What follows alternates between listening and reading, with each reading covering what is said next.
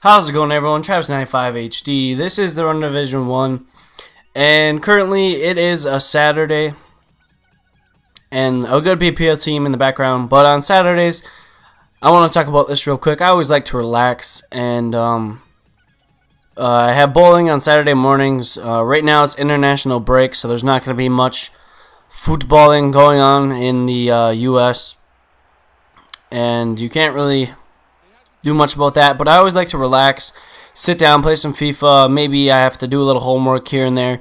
But I, I, I like the weekends when it comes up, and I, you know, try to take advantage of it and do everything that I can to uh, enjoy it. I played basketball last night, got a good uh, little bit of a workout, and a good start to the weekend so far. But back to the video. This guy had a good BPL team, and no doubts about it, he was not a bad player at all. And he scored first with Balotelli. A bit unlucky for me, but he got a goal and he's going to take it. It was striked back with Honda. And then right in the 44th minute, Juan Mata on his left foot absolutely hits one top corner. 45th minute. Can't take anything away from that. At the moment when I was playing, I'm like, oh my god. Juan Mata cannot finish that well. But nonetheless, he got a good goal. In this game, I seem to counter very quickly off of goal kicks and get lucky sometimes, but I counter nonetheless off of goal kicks a lot, it seems to be with the squad. Mark Gonzalez showing off his pace, whips one in. Lucky diving header with Doumbia, and at this point I am getting pumped. I'm getting back into it. 2-2 against a better BPL team, and it seems like I have put the pressure onto him, and that's definitely indeed what happens. Lovely build-up play, and I think that was a shot from Doumbia, but Eto's on hand tap it in. And he throws a fist pump in there, not fist pump. Uh, whatever you want to call it, uppercut, something of that nature. Showing that we're ready to go. We're ready to get 3-2, keep the lead, get one more possibly. Doumbia setting free, and he is going to finish that. No ifs, ands, or buts. Four-star weak foot. Doumbia is absolutely this goal scorer of this team and justifiably so. He gets on the score sheet every game, so nothing to complain about with him. A good bargain buy, if I must say so myself. 10k coins for a good striker is definitely cheap of a bargain so far. In 85th minute, Doumbia shown once again his weak foot finishing ability and says, Get up, guys, let's go. 5 2.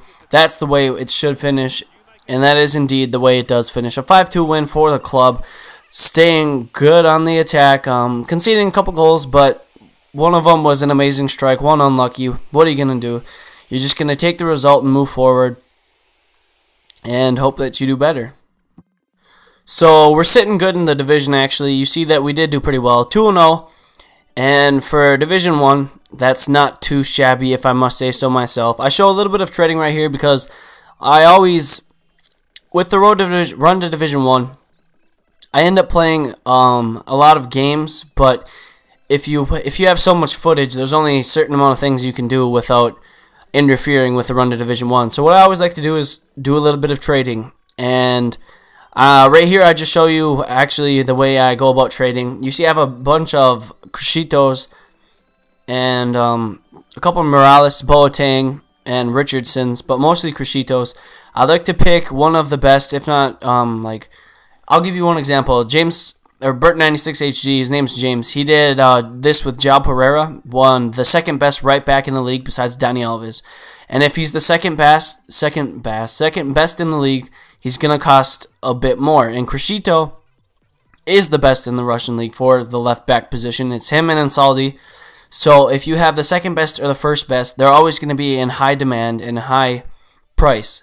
So if you pick one of the high demand players, you and if you can pick them up for a thousand coins under, you're always going to have the market to, to to be able to sell them because someone's going to want them if they're building that certain league team, and they're always going to need that player. So that's what I did with um the Criscitos right there, and they do eventually sell on for at least like a thousand coin profit on every single one of them. This guy has got an amazing Bundesliga Serie A slash hybrid team. And he has Robben, Infram, Reus, Gomez, Schneider, just a really, really good team. And he actually gets it started with a bit of a defensive error from me, and then he does the dick celebration like everyone does. And I can't say that was a bad goal. Uh, I just got a little bit unlucky, not clearing it out right away, but he does definitely take advantage with a lovely strike on Arjen Robben, Arjen Robben's beautiful left foot.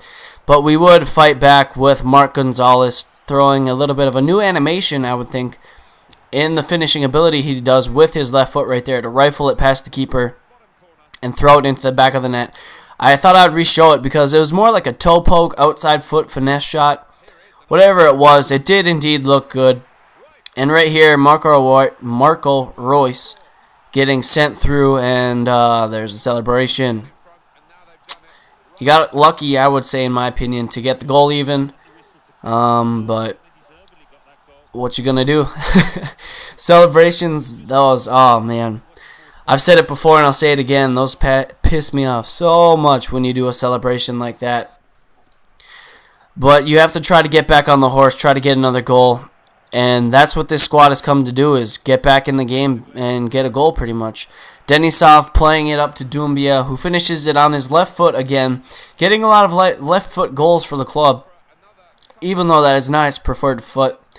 And uh, we decided to uh, milk the celebration for all it's worth and try to play it out. And in the 75th minute, I'm feeling like I can mount a comeback, maybe score another goal, but it was not to be. The game ended in a 2-2 draw. Uh, disappointed not to get the win, but what are you going to do? And that's it for me, Travis95HD, and as always, I'll see you next time.